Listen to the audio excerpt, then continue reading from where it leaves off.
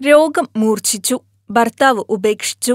അർച്ചന കവിക്ക് സംഭവിച്ചത് നീലത്താമര എന്ന സിനിമയിലൂടെ മലയാളി പ്രേക്ഷകരിലേക്ക് എത്തിയ താരമാണ് അർച്ചന കവി സിനിമയിൽ ഇപ്പോൾ സജീവമല്ലെങ്കിലും സോഷ്യൽ മീഡിയയിൽ സജീവമാണ് താരം. രണ്ടായിരത്തി പതിനാറിൽ പുറത്തിറങ്ങിയ ദൂരമാണ് താരം അവസാനമായി അഭിനയിച്ച ചിത്രം. തന്റെ മാനസിക ആരോഗ്യത്തെക്കുറിച്ചും വിഷാദ രോഗത്തെക്കുറിച്ചും താരത്തിന്റെ തുറന്നുപറച്ചിൽ ആരാധകർക്കിടയിൽ ചർച്ചയാവുകയാണ്. കഴിഞ്ഞ ദിവസം ഇൻസ്റ്റഗ്രാം വഴി താൻ കഴിക്കുന്ന മരുന്നുകളും ആരാധകർക്ക് കാണിച്ചു കൊടുത്തിരുന്നു. ഏറെ പ്രയാസം നിറഞ്ഞ യാത്രയാണ് തന്റെ എന്നാണ് താരം പറയുന്നത്. എല്ലാവർക്കും അഭിമുഖീകരിക്കേണ്ട പ്രശ്നമാണെങ്കിൽ കൂടിയും തനിക്കിത് വലിയ ആഘാതമാണ് ഉണ്ടാക്കിയതെന്നാണ് അർച്ചന പറയുന്നത്. അബീഷ് മാത്യു ആണ് അർച്ചനയുടെ പങ്കാളി. എന്നാൽ ഇരുവരും ഈ അടുത്ത് പിരിയാൻ തീരുമാനിക്കുകയായിരുന്നു.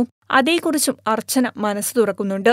ഒരു പ്രായം കഴിയുമ്പോൾ വീണ്ടും ഡേറ്റിംഗിലേക്ക് കടക്കുമ്പോൾ കുറച്ചു വർഷങ്ങൾക്ക് മുമ്പുണ്ടായിരുന്ന രീതികളൊന്നുമല്ല എന്നാണ് പറയുന്നത്. ഇപ്പോൾ താൻ എഴുതുകയാണ്. അഭിനയത്തെക്കാൾ ഞാൻ അത് ഇഷ്ടപ്പെടുന്നു. ഒരു സിനിമയൊരുക്കാൻ കഴിയണമെന്നാണ് ആഗ്രഹം. ജീവിതാംശമുള്ള കോമഡിയാണ് ഇഷ്ടമേഖല എന്നാണ് അർച്ചന പറയുന്നത്. ആരോഗ്യ പ്രശ്നം നേരിട്ടപ്പോൾ മാതാപിതാക്കൾക്കൊപ്പം ഡൽഹിയിലാണ് ഉണ്ടായിരുന്നത്. ആ ഡിപ്രഷൻ സമയത്തൊക്കെ ആരോഗ്യത്തിലൊക്കെ ശ്രദ്ധ വേണ്ടതെന്ന് അവരാണ് പറഞ്ഞു തന്നത്.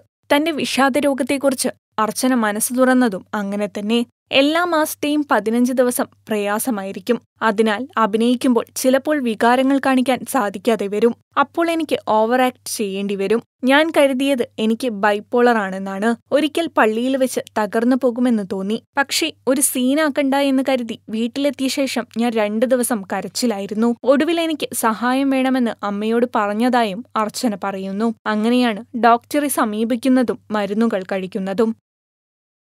ഈ ചാനൽ സബ്സ്ക്രൈബ് ചെയ്ത് ബെൽ ബട്ടൺ ക്ലിക്ക് ചെയ്യൂ. മലയാള സിനിമയിലെ ചൂടൻ വാർത്തകൾ നിങ്ങൾക്ക് നോട്ടിഫിക്കേഷനായി ലഭിക്കും.